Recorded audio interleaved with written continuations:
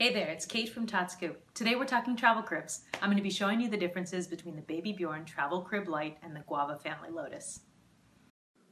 Okay, so here we've got the two cribs side by side. On the left, the Guava Lotus, and then in the right, um, the the Baby Bjorn Travel Crib Light. In terms of overall dimensions, they're both pretty similar. So that's both in terms of footprint and then also interior space. Um, the Lotus is maybe a hair shorter than the Baby Bjorn, and also if you look at the top opening, it's a little bit um, bigger, I think, on the Guava. Mostly because if you look at the Bjorn, those rods angle in a bit more, um, which makes it a little bit more stable, perhaps, but makes the top opening smaller. Now they've they both got the mattress sitting on the floor. Um, one big difference is that the Guava family has this door which you can zip open and closed. Um, pretty handy if you need to soothe your baby to sleep or nurse him or her to sleep. So mom or dad can just climb in there easily and then sneak back out and zip it back up. Okay, so here's the two cribs side by side, all folded up. You can see compared to my little model how big they are. So the guava crib definitely folds up a lot smaller. Um, it's a sort of much narrower shape, so you can lift it up by the straps, or you can backpack on, put it on backpack style. And it's pretty light. I, mean, I could feel very comfortable walking around an airport like this. And this one, the Baby Bjorn, is more like a suitcase, really. Small suitcase or a very large um, briefcase. But it's also very light. They're about the same weight. So I think the biggest difference is this one you could take as a carry-on, whereas this one um, you would have to either check separately or put inside a, a larger piece of luggage. Now I'm going to do a setup for the guava crib. Unfold it, unpack it rather. It's encased in the mattress. You can see it's about, I don't know, maybe an inch thick with um, some harder material on the bottom and you take it out. It's like this with the legs folded up. Once you get it out of the bag, and then all you got to do is lock the four legs, which is as easy as pulling up on them. Flip it over. And then the side kind of auto click into place, which is great.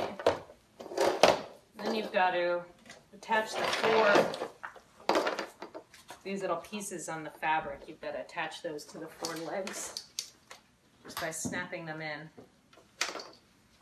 You can see on this one that works, just by snapping them in. And you can see there's this little dot here that you push to release and snaps in to let you know it's in there securely.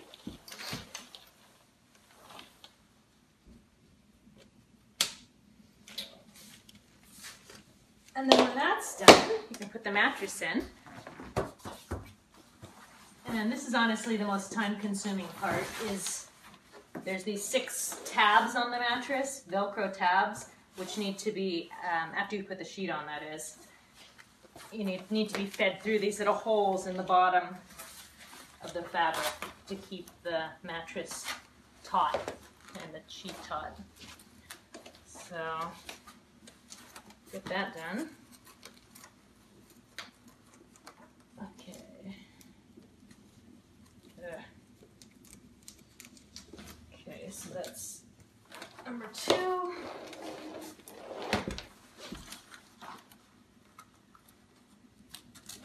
Number three.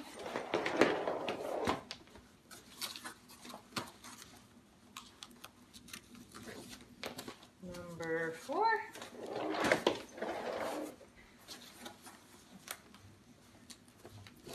number five. And number six. Okay, and let's just check it out. And you've got a little play space. This little one's 10 months old, just to give you an idea of size. Hello. Let's see if she likes the door. Come on out. Come on out. Yeah, come on out here. anyway, that's the lotus. Okay, now we're gonna do a setup on the baby Bjorn. So let's unlock our mega suitcase here. I've already got the fitted sheets stored on here, just for convenience. Okay, so this one is crazy easy to set up. I mean, it's like, well, you can count how long it takes, but take the mattress off and just flip out the sides and flip down the legs, and then just lock in place.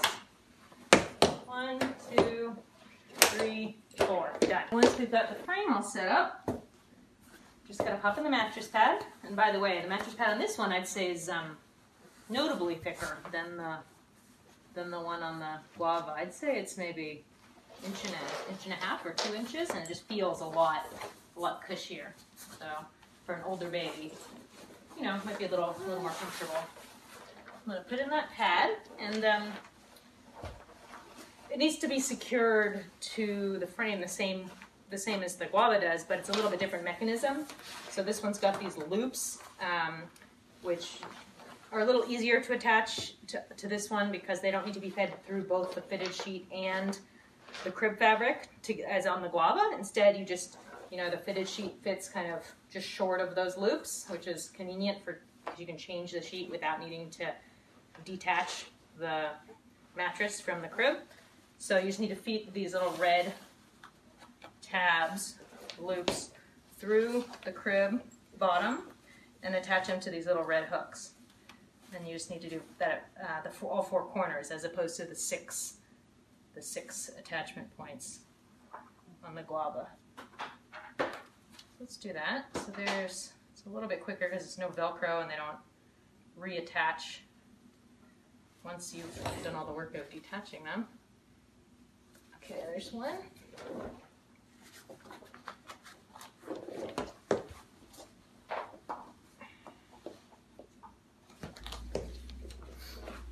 Here's two.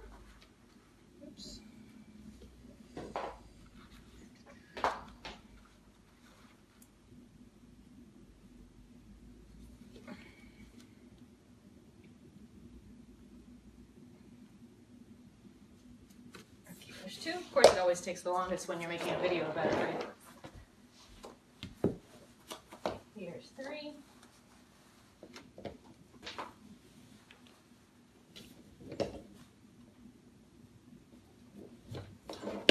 And here is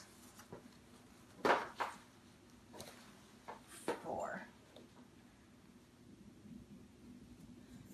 There, all done. And the takedown is super simple after um, you just detach those four clips again, those four uh, lit loops, and then pop out the mattress, flip it upside down, and you just kind of pull each of these four legs and then wrap them in, into each other, and then fold this up just like that. Just close it up like a book, and it's really fast. Let me just put my little model in here just so you can see the size. So again, she's 10 months old, standing up. So it's standing up, she's, you know, there's still plenty of room for growth. Um, have a two, two-year-old in, even in here. And um, she's totally comfortable and plenty of room for her, but uh, might be a little tight quarters for, you know, a two or, or a three-year-old. So now just maybe some quick comparison thoughts on the two. Um, I think they're both great cribs. I mean, really, um, both top of the line can't really go wrong. Um, I would say I'd pick one versus the other, like a little bit more if you have certain different needs. The guava, um, I think, is great because it packs up super small, so it'd just be great for air travel. And um, it also has this unique zip-off door, uh, zip-up door, which is just really great if you you need to nurse your baby to sleep um, and then slip out. Uh, the third thing I really love about the guava is that you can convert it into a bassinet. So I don't have that demoed here, but we own it and used it for the first six months of our baby's life, and it was just great. We used it just stationary in our living room, and you can attach these legs that uh, let it rock if you need that. So the, if you're going to travel a lot, or you want the bassinet feature or the zip-up door feature, I would not hesitate to get the guava. For the baby Bjorn, you know, I think this thing just cannot be beat in terms of build quality. Um, I think it's a little bit higher than the than the guava in my opinion. um, ease of use and ease of setup are really just unparalleled. It's much quicker. It's quicker to pop open the legs, to attach the mattress, and then to, to fold it up or fold it, unfold it, and then the reverse when you're putting it away. And um, the mattress is also a little bit thicker, a little bit more comfortable. So for us, we use this as a sleep area for our baby um, every night. Um, and so I feel more comfortable leaving her in this overnight. It seems a little bit more comfortable. And um, I also love that the baby Bjorn is Oeko-Tex certified. So, you know, neither of them has any um, lead, phthalates, uh, PVC, um, or flame retardants in the mattress. But the fact that the baby Bjorn is Oeko-Tex certified for lots of other substances beyond just those um, gives me a little added measure of comfort. So I personally like that. So, um, however, the downside, of course, is that it packs up, like as you saw, a huge suitcase when you're not a huge suitcase, but a small suitcase size when you pack it up. So if you're going to be taking it for plane travel, you know, it's a little bit um, a little bit bulkier. Uh, and of course, it doesn't have the bassinet option or the zip up door. So that's how I'd compare them. Good luck finding the best, uh, making the best choice for your family. Well, that's it for today. Hope you found it useful. If you did, check out totscoop.com. It's the best way to discover and share the best baby products, curated by your friends and other parents. See you there.